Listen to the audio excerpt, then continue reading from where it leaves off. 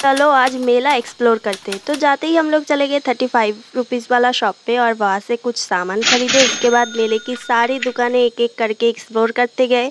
बहुत मज़ा आया और जो जो मैं ख़रीद रही हूँ ना, वो सारा नेक्स्ट वीडियो में ज़रूर दिखाऊँगी। आपके साथ ज़रूर शेयर करूँगी।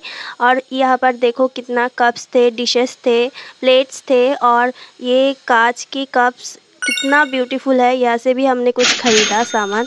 और फिर हम लोग चले गए दस रुपये वाले शॉप में। और यहाँ से आपको जो कुछ भी लेना है मतलब जो कुछ भी ले लो, आपको सिर्फ़ और सिर्फ़ दस रुपये ही लगेगा। और ये देखो, ये लिप ग्लॉस कितना प्रिटी है ना, कितना ब्यूटीफुल है। लेकिन ये लिप ग्लॉस नहीं है, ये पेन है।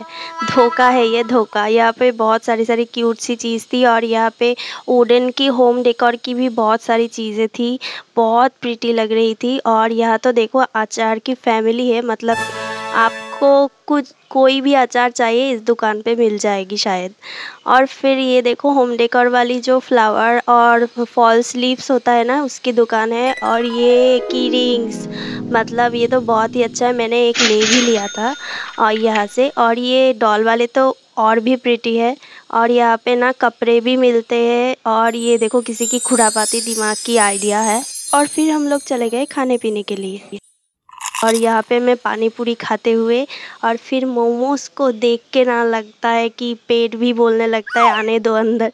और फिर हम लोग खाए ये आइसक्रीम वैसे इसका नाम तो मुझे नहीं पता है, लेकिन ये बहुत टेस्टी था।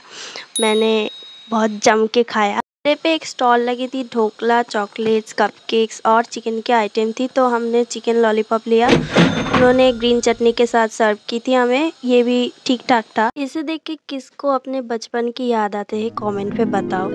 मुझे तो अपने बचपन की याद आ गई और ये देखने में भी बहुत प्रिटी है। और फिर हम लोग मंदिर गए, वहाँ पे जाके शिव जी के दर्शन किए प्रे वगैरह किया, थोड़ी देर बैठा और फिर घर की तरफ़ निकल पड़े।